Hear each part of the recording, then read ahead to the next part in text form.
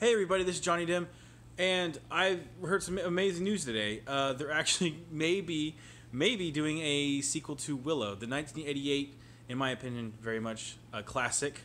Uh, it did not actually do very well when it was released in theaters, uh, but I grew up on that movie and I absolutely love it. Super, super excited about the uh, the, the idea that there might be a sequel.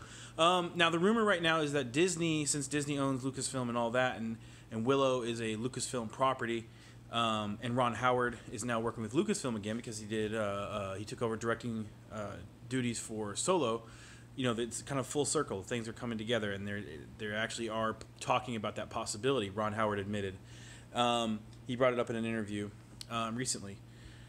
So, first off, might be on the streaming service that is upcoming for Disney. That's that's one thing they're talking about. It could be a series, maybe like hour long episodes, kind of like Game of Thrones and Walking Dead and all that kind of good stuff. Um, it could be one of those. Uh, I think that's where I think that's the way they the way they'd be leaning because they're they're they're supposed to be leaning pretty heavy into this the the, uh, the streaming service, which I think shows do better. You get more um, time uh, to put stuff like you get more time with viewers. Like uh, a 10 episode hour long episode series um, is going to be uh, a lot more attractive uh, to people i think than just a, a, two or three hour movie. But aside from all that uh, the the rumor right now also is that Elora Danan, which is the, the baby actually in the original uh, movie, would be the main protagonist. Um, I, I'm imagining. I think the story halfway writes itself.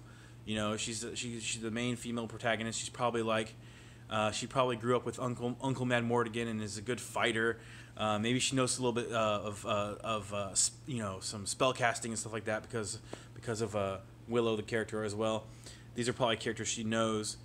Uh, and I, I don't know. I think that it kind of, like I said, it kind of writes itself. I mean, it could be um, where we left off in the first movie. It'd be a very peaceful uh, kingdom, very prosperous kingdom that they probably uh, started with, because that's kind of where we left off of the first one. I mean, they've established um, that that that uh, that kingdom anyway, because the bad guys are all gone. So I think what we have is probably some kind of incoming threat that's going to of be uh, brewing, maybe uh, I don't know, some some of the dark lord or something comes and, and, and starts screwing things up, and then probably knocks her down a peg, and, she, and it would be her journey probably back to, you know, uh, a uh, uh the status in which she started with.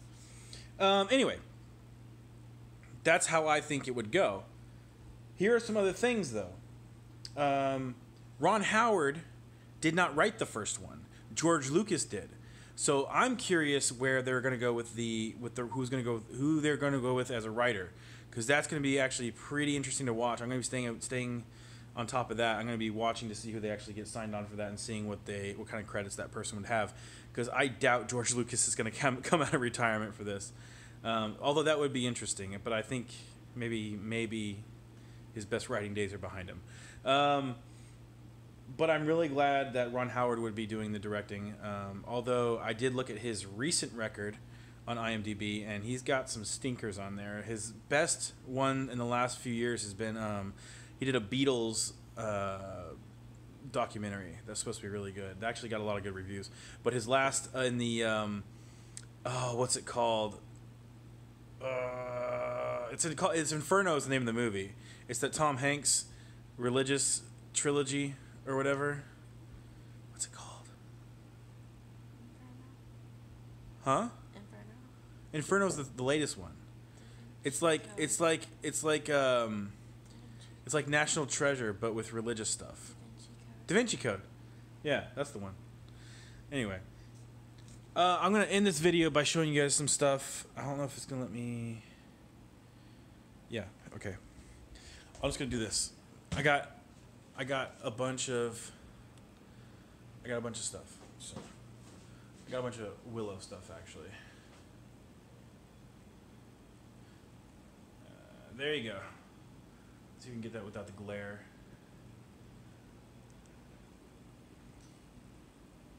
All right. So there's my willow collection up there. Um, yes, that's a board game, which I got for my birthday, which is really cool. It's still sealed and in the box. Some of my figures.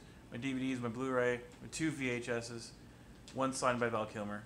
So, I'm not I'm not showing off or anything, but but I just I'm just trying to show you guys how excited I am about this because it's this is one of the, the this is one of the best things I have I've ever heard in my life that they're doing a sequel to Willow. What's funny about that is that Warwick Davis, of course, who plays Willow, he had his own show recently, and and Val Kilmer actually showed up on this episode, and they actually were joking. Val Kilmer was actually trying to swindle money out of out of Warwick Davis because they were going to do a Willow two sequel that really wasn't going to happen. So Val Kilmer was just going to steal everybody's money. That's that's that's pretty funny. I, I never would have thought this was actually gonna happen. I, I didn't think anybody else thought it was serious either. Um, I would love to see Val Kilmer in this movie, but to be honest, his his health isn't doing that well. Um, I'm not I'm not making that up. I actually saw it firsthand uh, when I got my VHS signed. But anyway, I'm gonna go ahead and sign off. Um, this is the countdown right now to Comicpalooza that we're doing. Uh, we're gonna we got that coming up in a couple weeks here in Houston. It's gonna be an awesome convention. We got Tom Holland.